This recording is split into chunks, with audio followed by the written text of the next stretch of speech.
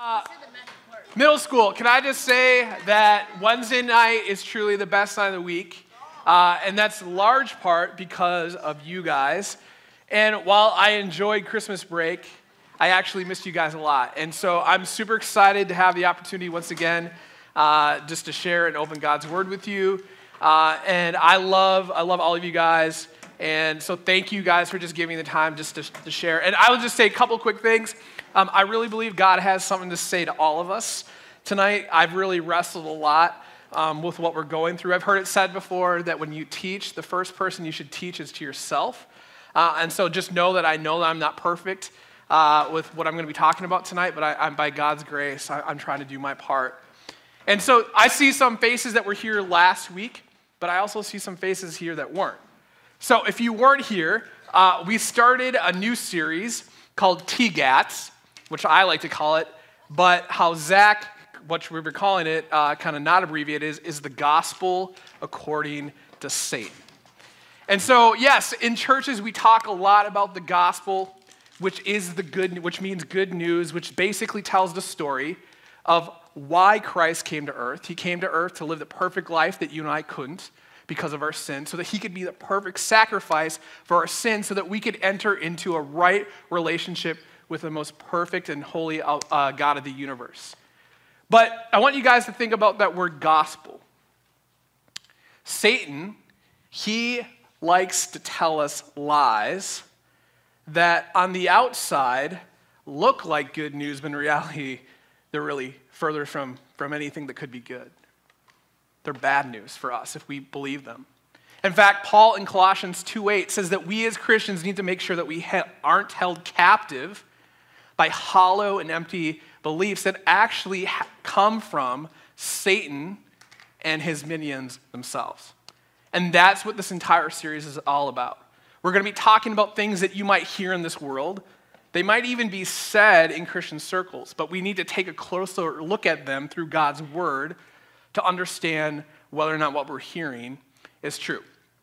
To kind of introduce tonight's topic, I want to tell you guys um, a couple quick stories, but wait, let me go back to one other thing. So, as we head into this series, you guys, week number two, I kind of want to make a couple things clear that God's word says in regards to a battle that we're in. The first thing you guys need to realize, according to God's word, is that we're all in a spiritual uh, battle. Whether you believe in Jesus or not, Satan has one mission John 10:10 10, 10 says that the thief or Satan comes to kill, steal, or destroy. Ephesians 6:12 says that our battle isn't against flesh and blood, but against Satan and his evil minions. 1 Peter 5:8 says, "Be on the lookout because our enemy Satan is like a roaring lion looking for someone to spiritually devour." Satan's goal is to destroy you. He doesn't want you to have everlasting life in Jesus Christ. And He's made it His mission to do whatever it takes to bring you down with Him. Another thing I want you guys to keep in mind is that Satan, the way that he brings us down is, is that he gets us to believe lies.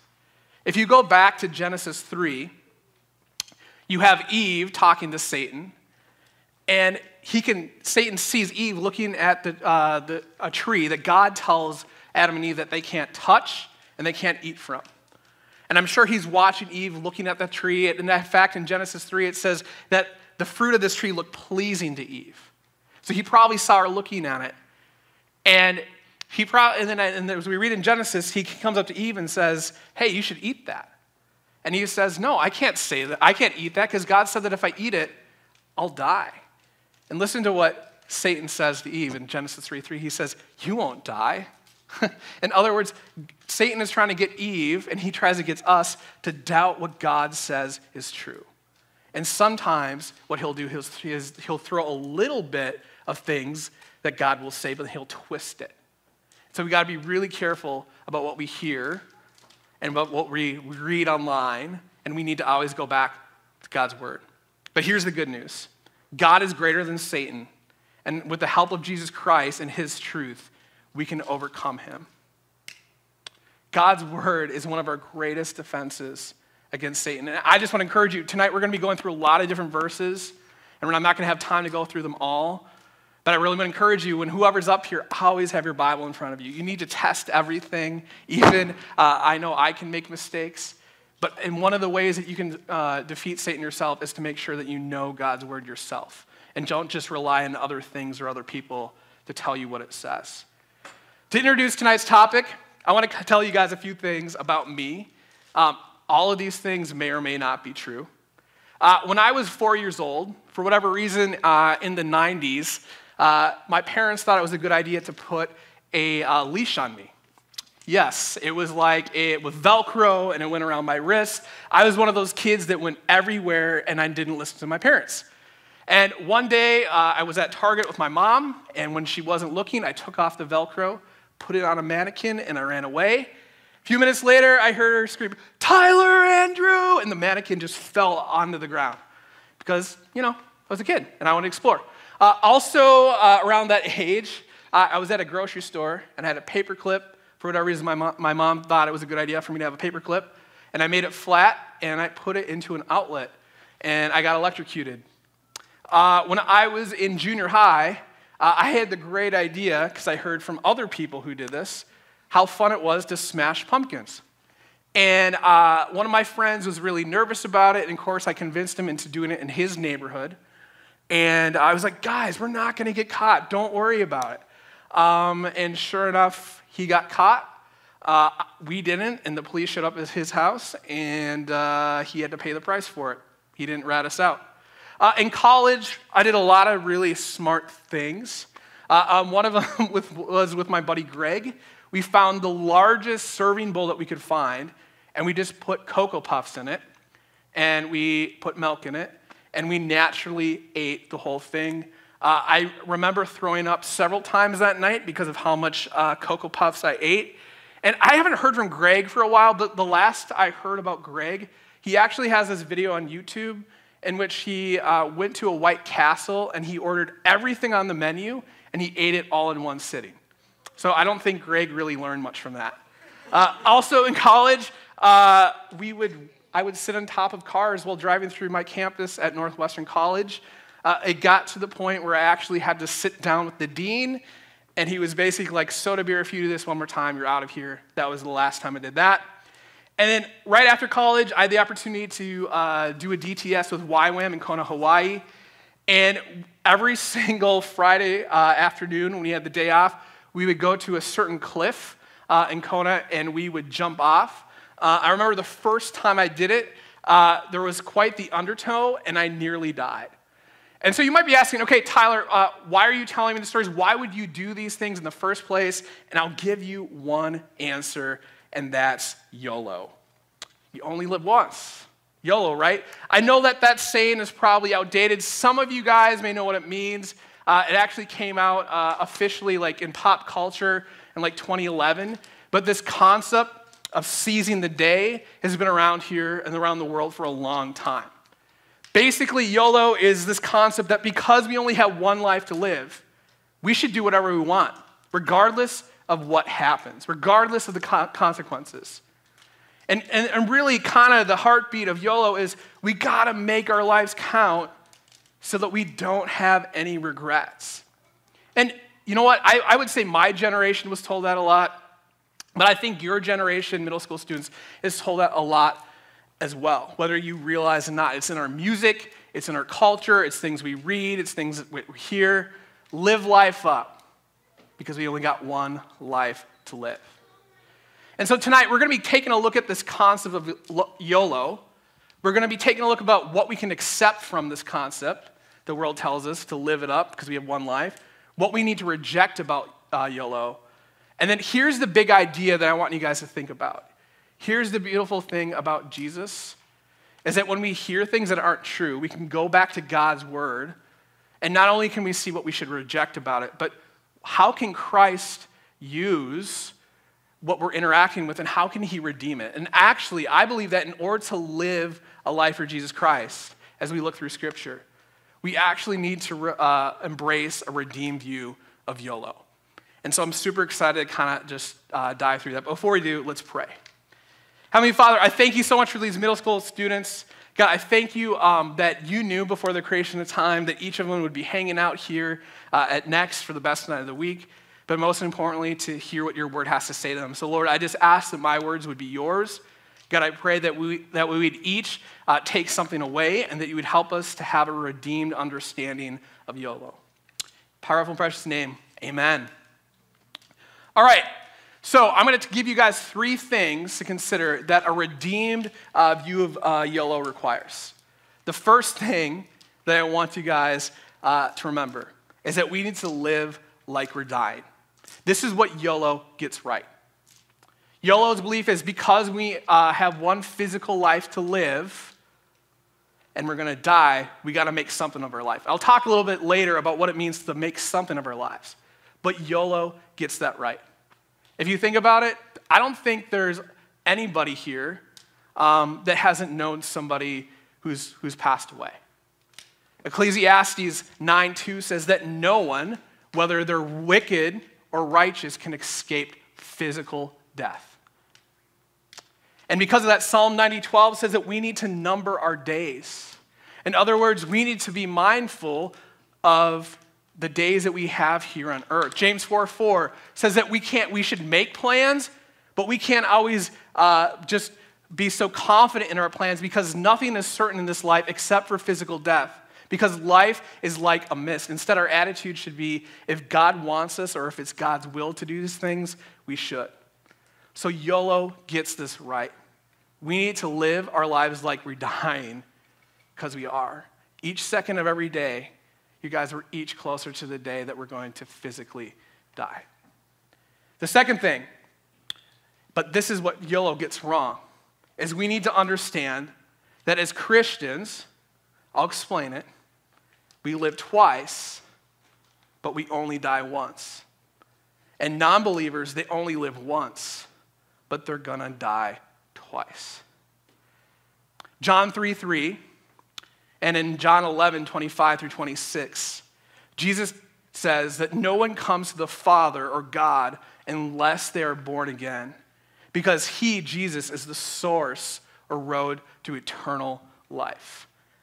And this concept of being born again, when I was in middle school, it was super confusing to me. And I, I don't want to confuse you, but this illustration has been really helpful to me. I was talking to my daughter about this. So, this concept of being born again, consider this for a moment. Consider a butterfly. They're born once physically as a caterpillar, but then they enter a cocoon. But then they, through a complete metamorphosis, they kind of have a second birth in some ways, and they emerge as a butterfly. The Bible says that we as Christians experience two births. Every person on this earth has a physical birth, but if you come to know Jesus, you actually have a spiritual birth in which your soul and your, and, and is transformed and hopefully, through the Holy Spirit and you listening to Him, will be conformed to the likeness of Jesus.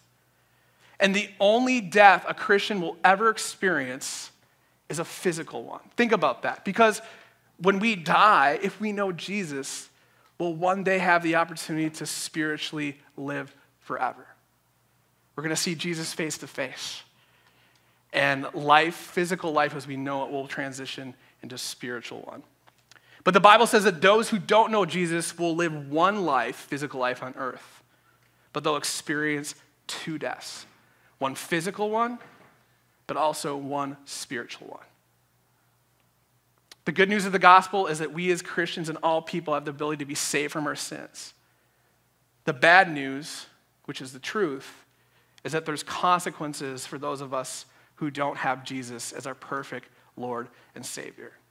If you don't have a personal relationship with Jesus, if any of this is confusing, I just want to let you know that we're here to answer any of and all of your questions. I'm here for you. Uh, the gospel didn't make a lot of sense to me when I was in middle school. It took me a while to wrestle. I had a lot of questions. And if you have questions, know that you are amongst people that love and care about you, and you can ask your questions. Uh, if you do know Jesus, I just want to put something in perspective for you. If you know Jesus, this world is the worst it's ever going to get. Yes, there's some great things about being alive, like Taco Bell, NXT students. There's a lot of really bad things suffering, war, pain. I heard Tyler Sotomayor, thank you. That's bad. Thanks. I know. But just think about it. If you know Jesus, this world is, is the worst you're going to ever experience. But if you don't know Jesus, somebody who doesn't know Jesus, this is the best they're ever going to experience because two deaths await them. All right, I'm going to spend the most of my time in this third point. And to illustrate this, I have this rope. And so I want you guys to pretend that this rope represents your entire existence, entire birth, and then what comes after life, eternity. Okay, so the red on this rope represents actually how much time in all of our existence, let's pretend this rope keeps going around this room, because that's what it would be unending for eternity. This red represents actually how much time we spend on earth. The rest of this, which is going to keep going around this room, represents eternity, the, the, the time that we're going to spend with God after we die. You guys, if you think about a worldly view of YOLO, it only focuses on the red. YOLO, a worldly view of YOLO says you need to have as much fun as you want, you need to make as much money as you want, you should make as many dumb decisions as you want, because this is all that there is.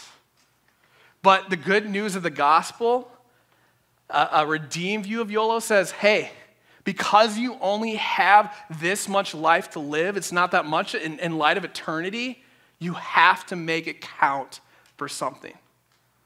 I've said this verse before, but Ecclesiastes 11:9 is one of my favorite verses. And I'll be honest with you, I was living uh, for the red a lot, a lot in my middle school and most of my high school until I came to know Jesus.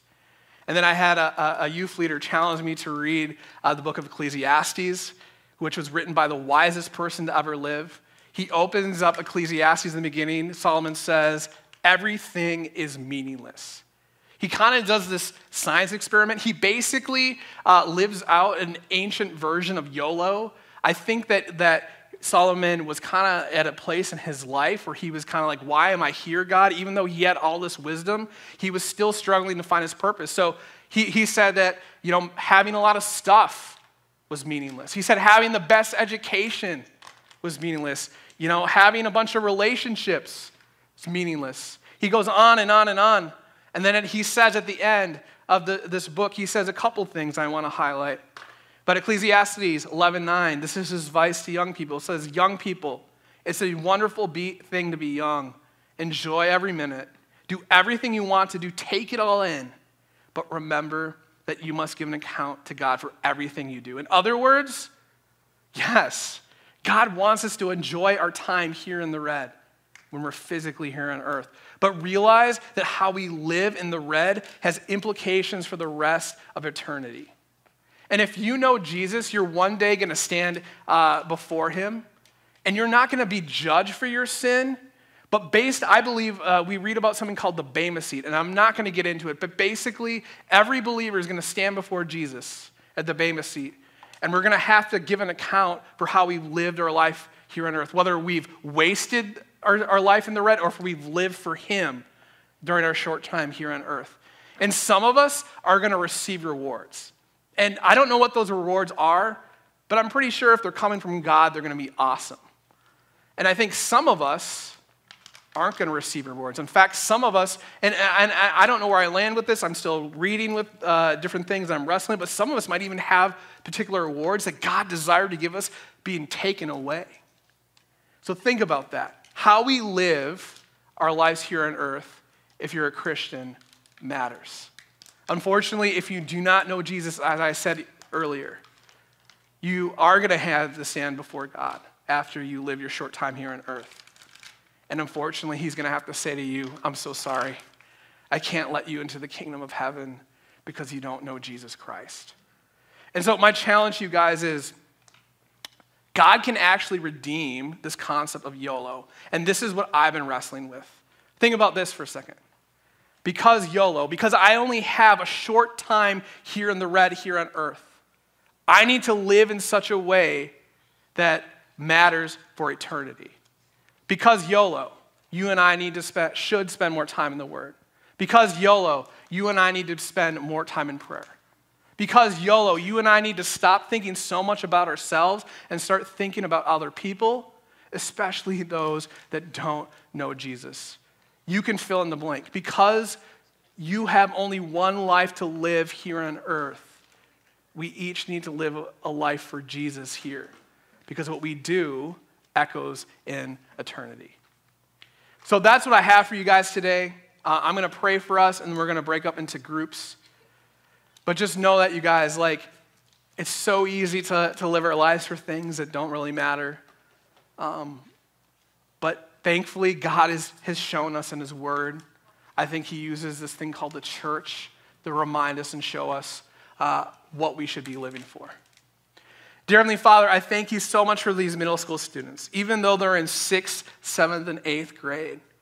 Your word says in, in Timothy that um, no one should look down upon them because they are young, but rather, these middle school students can show the rest of the church, adults that are older than them, what it means to live a life that matters. So, God, I pray that in this moment and through this small group time, we would each uh, be encouraged and reminded about your word, about what we should be living for. We love you, Jesus. Amen.